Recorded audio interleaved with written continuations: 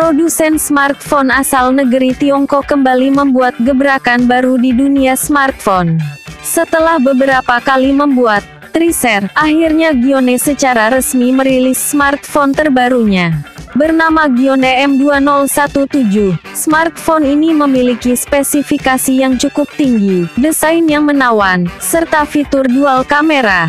Salah satu hal yang diunggulkan dari smartphone ini adalah baterai yang dimilikinya. Gione M2017 menggunakan baterai dengan kapasitas besar, yaitu 7000 mAh. Berapa harga Gione M2017 dan apa spesifikasi yang digunakan?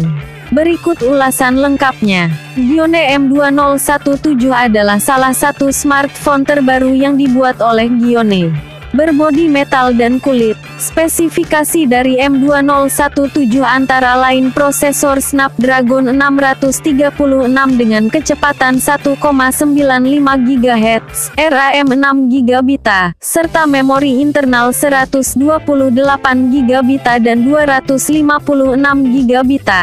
Untuk kamera, Gione M2017 menggunakan fitur dual kamera dengan resolusi 12MP plus 13MP dan kamera depan 8MP.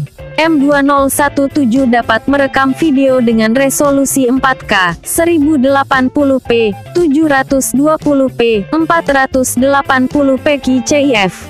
Terdapat juga fitur 2x optical zoom dan 8x digital zoom. Berlanjut ke sisi layar, M2017 menggunakan layar bertipe AMOLED berukuran 5,7 inci, resolusi 2K, 2560 x 1440.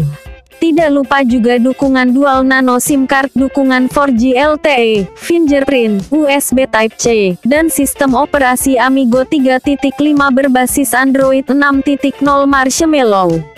Tertarik untuk memilikinya? Gione M2017 dijual seharga 6.999 yuan atau sekitar 13,5 juta.